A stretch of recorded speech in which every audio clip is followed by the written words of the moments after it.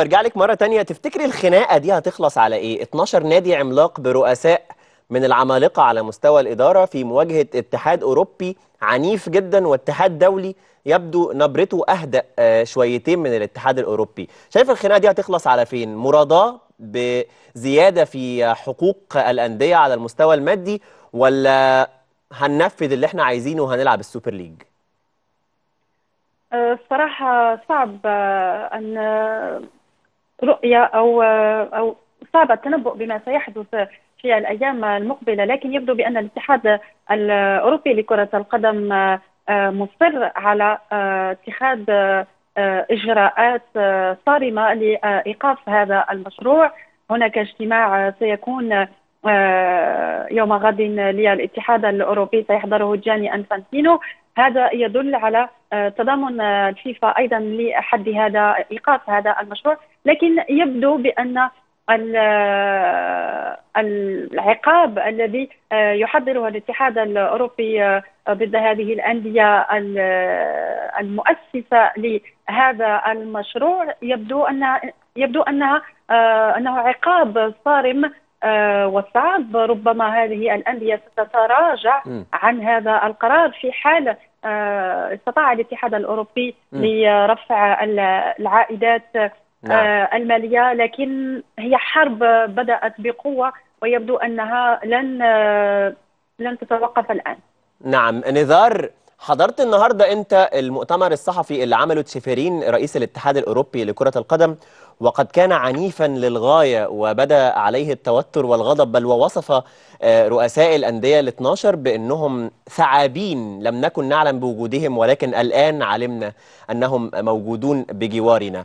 آه، كيف رأيت تصريحات شيفرين وكيف ت- رأيت آه، نبرته الغاضبة النهارده؟ لقد كان صادم. ولكنني سعدت بمشاهدة هذا الأمر. فأعتقد أنه عبر عن رأي الكثير من الأوروبيين. فالبعض يقول أنت لست بالكفاءة. الكافية لتكون في الشامبيونز ليج و وهناك فرق كبيرة في أوروبا تم تجاهلها في هذا الأمر. لذا أعتقد أنه كان يدافع عن فرقه ويدافع عن بطولاته وهذا أسعد الكثيرين.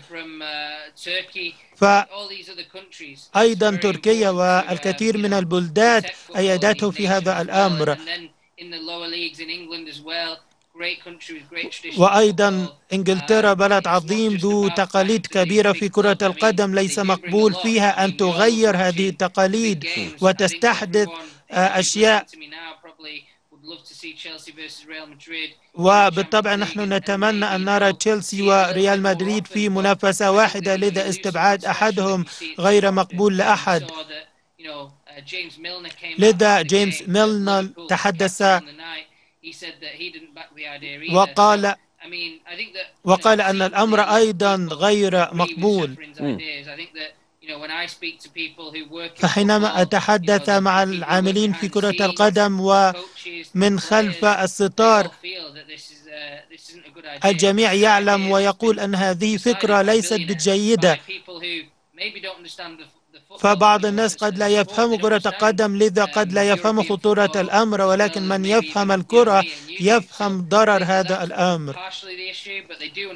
و ولكن في النهاية البعض ينظر إلى المصلحة التجارية والعائد من هذا الأمر. والبعض ينظر إلى قوته وهيمنته في البطولة وهذا يجعله يتغاضى عن بعض الأمور الأخرى. نعم. فهل الأهم الحفاظ على التقاليد والمتعة في المنافسة أم تحقيق المصالح الشخصية؟ أعتقد أن هذا هو الخط الفاصل ما بين من يؤيد ومن يعارض في هذا الأمر. ولكن في النهاية الاتحاد الأوروبي لكرة القدم سيقاتل بمنتهى الشراسة لإيقاف هذا الأمر. والطريقة الوحيدة لإيقاف الأمر من خلال المقاومة الشديدة. فنحن لدينا الست فرق الكبرى لذا يجب أن ينظر إلينا بإحترام أكثر من هذا. نعم. وفي النهاية يسعدني أن أرى ما سيقرره بقية الأندية في النهاية لأن الأمر جلل ويحتاج إلى رأي حاسم من الجميع. نعم نزار ابقى معي لأسألك سؤالا أخيرا بعدما أعود إلى زينب الهواري. زينب النظامان يبدوان معقدين جدا. نظام دوري أبطال أوروبا الجديد ونظام السوبر ليج المعلن منذ أيام. أيهما أكثر تعقيدا أو أكثر إمتاعا لو حبيت تتفرجي على واحد فيهم؟ والله ما فيش واحد أسهل من الثاني بس لكن الفرق يبقى في أن النظام دوري أبطال أوروبا الحالي ما يجعل منها نظام أفضل هو أن ستكون جميع الأندية يمكنها المشاركة في هذه المسابقة.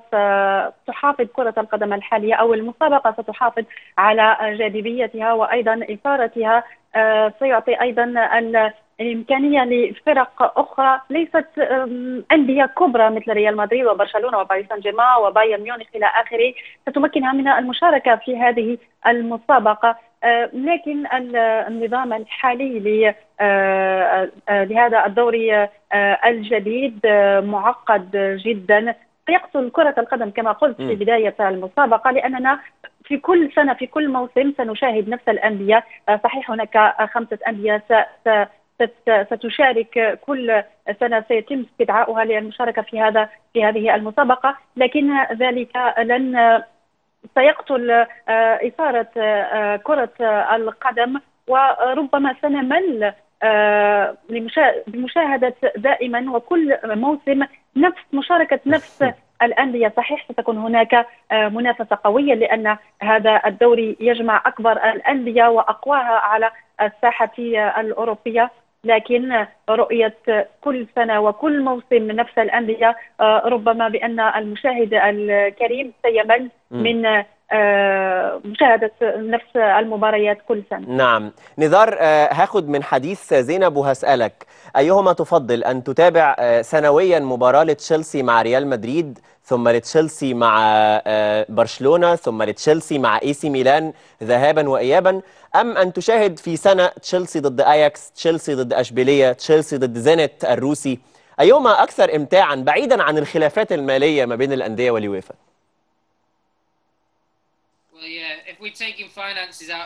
إذا أخرجنا الأمور المالية وهي كبيرة أعتقد الشامبيونز ليج سيكون أكثر إثارة والناس ستحب أكثر. ف كل مرة ترى فريق جديد وهذا مثير. والمجموعات ستتغير كثيرا. وأيضا مانشستر يونايتد والفرق الكبيرة تستفيد من هذا الأمر. ف فسيكون هذا الأمر أفضل لهم لأن لديهم فرصة أكبر للفوز لذا أعتقد أن كرة القدم بوضعها الحالي والشامبيونز ليج بوضعها الحالي مفيد ومثير للأندية الكبيرة لذا لا داعي للتغيير. والناس أحيانا تفرح حينما يفوز فريق صغير على فريق كبير وهذه متعة كرة القدم.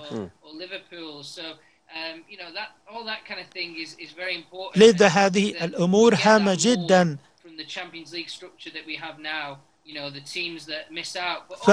فهناك فرق يمكن أن نخسرها بالنظام الجديد وهذا غير مرضي لأحد.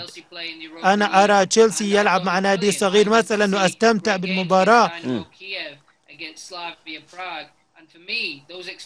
وبالنسبة لي هذه المباراة الغير متوقعة تكون أكثر متعة من المباريات الكبيرة والهامة. لذا أنا أحب الشكل الجديد للشامبيونز ليج نعم. نعم. ولكن أعتقد أعتقد أيضا أن كل من في مصر يشعر بنفس ما نشعره هنا في أوروبا نعم. وهو أن الشامبيونز ليج هو الأفضل. من إنجلترا الصحفي نزار كنسيلا أشكرك شكرا جزيلا على وجودك معنا يعني كان يوما طويلا بالنسبة لك لحضور العديد من المؤتمرات والتغطيات فشكرا لوجودك معنا.